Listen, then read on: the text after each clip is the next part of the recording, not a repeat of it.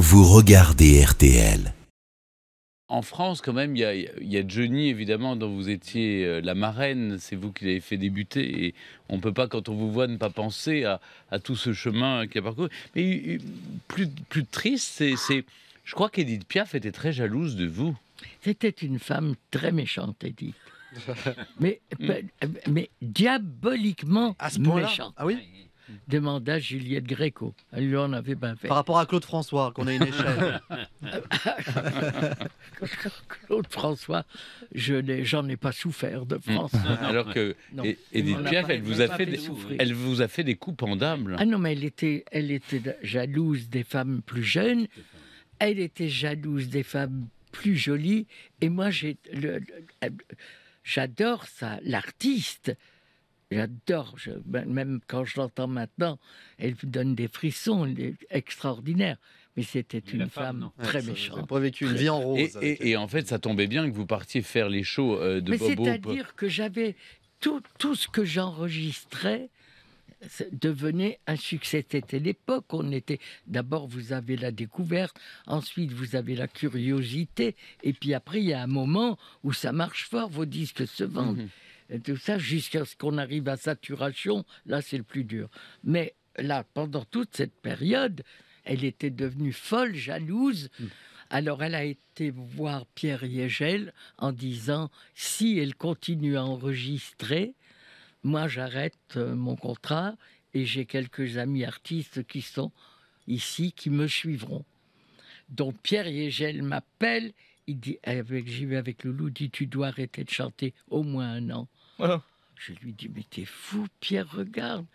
C'est- c'est- c'est- et il, dit, il, il avait des, des petites larmes qui coulaient le Pierre là.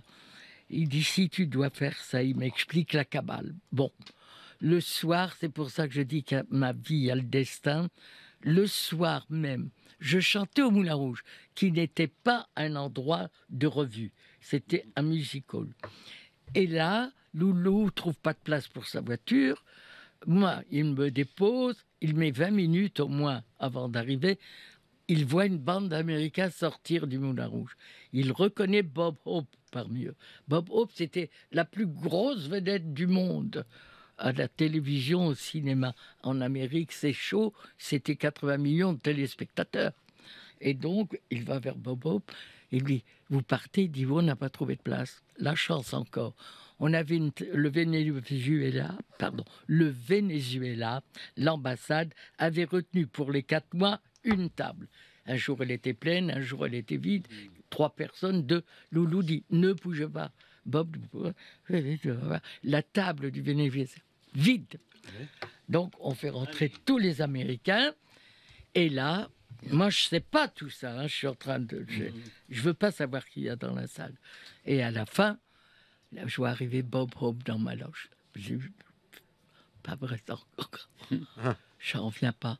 Et là, sa première parole, il me dit Would you like to go to America? Vous voudriez aller en Amérique Comme Piaf m'avait fait ça dans l'après-midi, je dis It's my dream, c'est mon rêve. Ma nappe en papier, prends un stylo. Vous êtes engagé pour cinq Bob Hope Show. De meilleurs contrats vont suivre. Ouais. J'arrache le petit bout de papier, je l'embrasse. Et là, le lendemain, j'arrive chez Pierre Yegel. J'ai dit, tiens, tu donneras ça à Piaf. Rassure-la, je pars en Amérique. Mais elle vous a rendu service en fait. Finalement, elle vous a Ah, pris.